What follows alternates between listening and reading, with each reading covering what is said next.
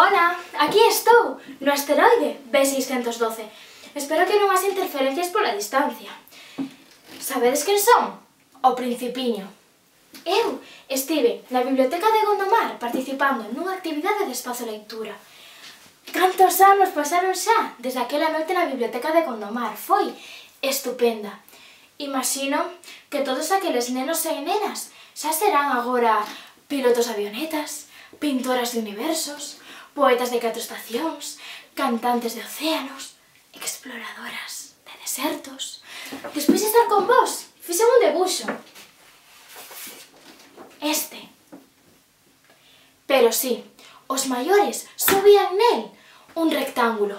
Por iso, tiven que esforzarme e debuxar o mellor. E fixen este outro. Unha biblioteca accesible para todas e todos, cun bibliotecario con orzamento anual fixo para compra de libros, con mobiliario moderno e flexible, informatizada e conectada con todas as bibliotecas de Galicia e do mundo, con diversos usos e espazos, espazo de prensa, espazo de estudo, espazo infantil, e iso sí, miles e miles de libros para que nenos nenas e maiores poidan coñecer o maravilloso mundo da lectura.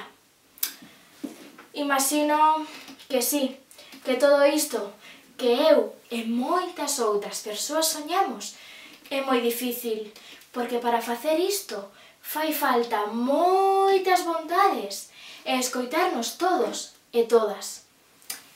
E aínda que xa sei que os maiores son un pouco raros, Por que non soñar que é posible? Aí vos lo deixo. E antes de nada, quería felicitarvos por eses dez anos que acabades de cumplir. ¡Parabéns! E animarvos a continuar por unha biblioteca digna, por un gondomar que medre alrededor dos libros. Eu, uno me a rebelión da lectura. Adeus.